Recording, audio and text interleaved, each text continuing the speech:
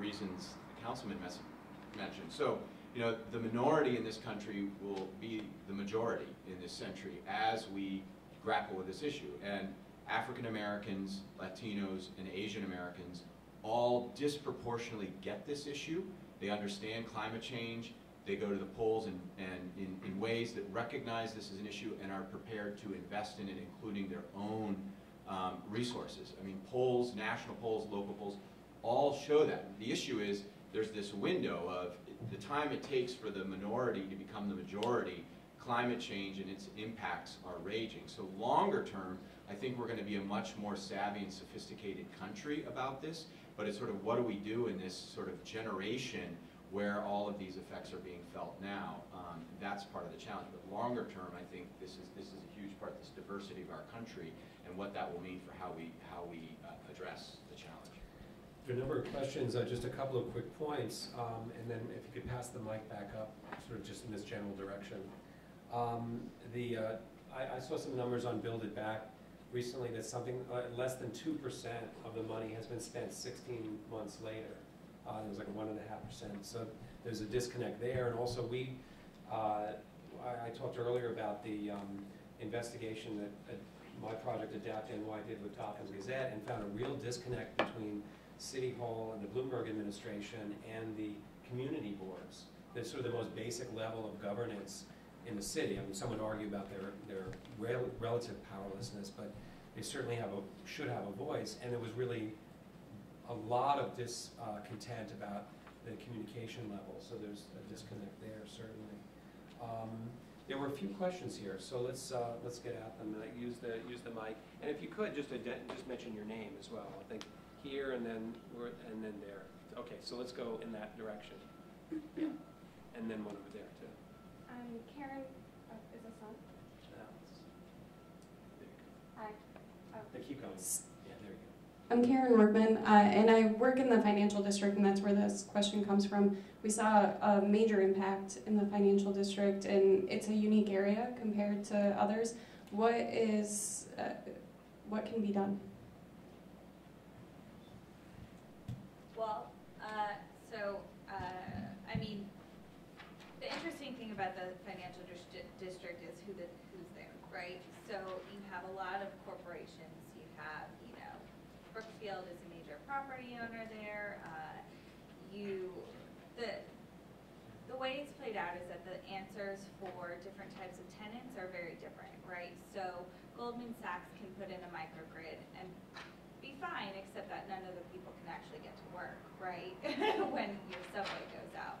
Um, what you're seeing is that um, companies can recover pretty quickly by investing huge sums of money in their own um, either hazard mitigation through elevation or removing uh, their data centers to a top floor or by putting in a microgrid to, to island them from the rest of the electric grid or things like that. Um, but the challenge is really getting them to invest in the community that's there. And, um, you know, it's a marathon, not a sprint. So, um, you know, recovery and long-term rebuilding are end up kind of blending together, right? So the question, you know, that we're trying to think about is how do you improve the adaptive capacity of uh, small and large businesses to think about uh, what's going to happen over the long term and how they should have, why they should really have a stake in sort of their broader um, community in terms of rebuilding. So, you know, the solutions are going to have to be tailored to, to different people, but we would urge that, you know, uh, we can't just think, you know, that every building is an island because it doesn't work that way. Um, so, yeah, I don't know if that totally answers your question. Uh, there was one, you had a question there? And we'll do these, we have about fifteen minutes, so let's, we'll go through the questions and answers quickly, and there are a couple things I particularly want to get to our media person there too, because it's a big part of what we're doing. Okay. Hi, I'm Kristen Chu. I'm a freelance writer from Staten Island. Um, Let's check and make sure. Is Yeah, Is it on? Thank you. Sure. I'm a freelance writer from Staten Island, and it's become very clear to me that you can't address these issues without addressing poverty and the lack of affordable housing. And yet I rarely hear this discussed. People who live on Staten Island who are hit the hardest are in a neighborhood that on Staten Island we refer to as below the boulevard. below Highland Boulevard. And um, small houses, a very stressed neighborhood in many respects, hit very hard by the recession. And uh, very dependent on community ties to get by. Now, we're talking about either having them leave, and the, the governor's plan has so far been very generous, but it's been applied to very few people. And the rest of them are trying to figure out what to do next. They simply don't have the resources to just pick up and leave. So so your question is, how do we address that? How do we address poverty and how do we integrate that into the plans? So that should be a short answer, addressing poverty. is- But it's a va- very valid concern. Any quick You know, thoughts? Yeah. uh, someone that I work with said, you know, you have the- your poverty and your crime and the problems that are your everyday vulnerabilities, and then you have the water issue. And if you don't fix the water issue, well, you fix your poverty issue in that location, because nobody's gonna wanna be there anymore, right? Uh, and, and if you fix the poverty issue and the crime and, you know, housing and all those everyday vulnerabilities, then you've also kind of fixed the flooding issue because everybody is more able to deal with, you know, stresses and shocks when they happen. So it's really, it's really a challenge, um, and, and- we understand that. Um, so I was at a community meeting the other night, um, at a, at a public housing, um, a, a project, I guess, um, that's gonna be flooded. It has been flooded. It's already, so many of the, the units have already been, um, boarded up because of mold from Irene and then Sandy and then the blizzard, right? And, you know, people were saying, you know, the only way we survived this is because we actually pulled together as neighbors. And, you know, when we're talking them to imagine what could be there in the future, um, it's, it's a challenge, you know, you know, we hear, I, we love our backyard, so can we, can we have something that's, uh, a raised duplex, but we still have a front and a back, so we can, you know, spend time with our neighbors in our yards and, and, and having that community, and so when we're thinking about relocating people, it's a really serious challenge, because you're right, your neighbors and your family and your community organizations, your houses of worship are what you need to get by, um, and so I think it's critical that we address some of those ev- everyday vulnerabilities, because that's what's gonna make you vulnerable when a disaster happens. Um, And just as, oh, did you want to I add was say, that's a great question for Mayor de Blasio. And, and the reason is, these are the people he ran for, were the disadvantaged and the vulnerable. And I think one of the things is, and again, I, you know, for you guys today, is the mayor, those are the people who he championed.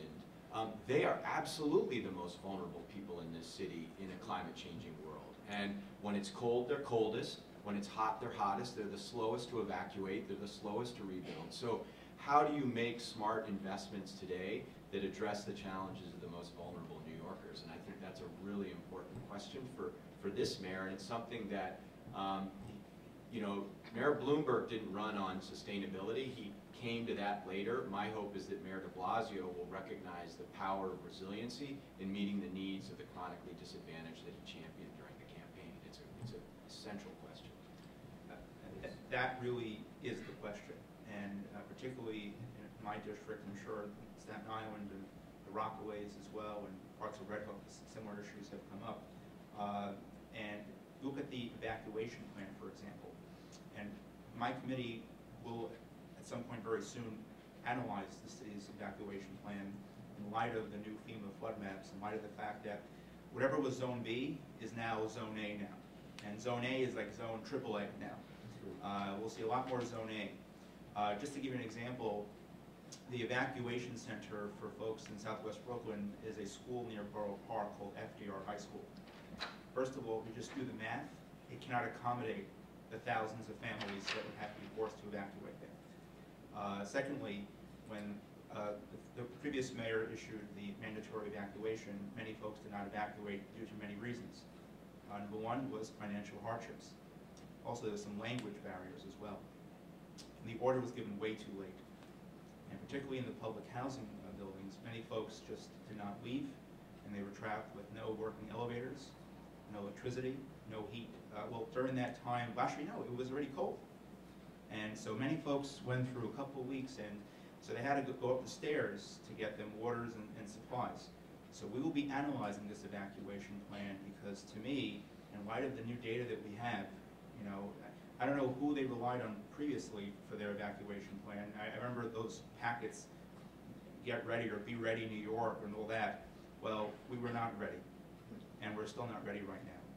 So we will be have to analyzing all of these, all of these factors. But- that, your question cuts to the heart of what we're talking about here today. Just before we get to the next question, I mean, these are really some remarkably rich uh, points that are being made. As someone who covers this all the time, there's a lot of uh, depth here. And, but one of the things I want to invite you to think about as you listen is if you're, uh, if you had a particular constituency, whether as a journalist or your organization or whatever it might be, a reader, um, a, um, a voter, uh, how would you deal with these issues if you were focused on homeowners, if you were focused on the poor, if you were focused on ethnic communities, engineers, environmental activists?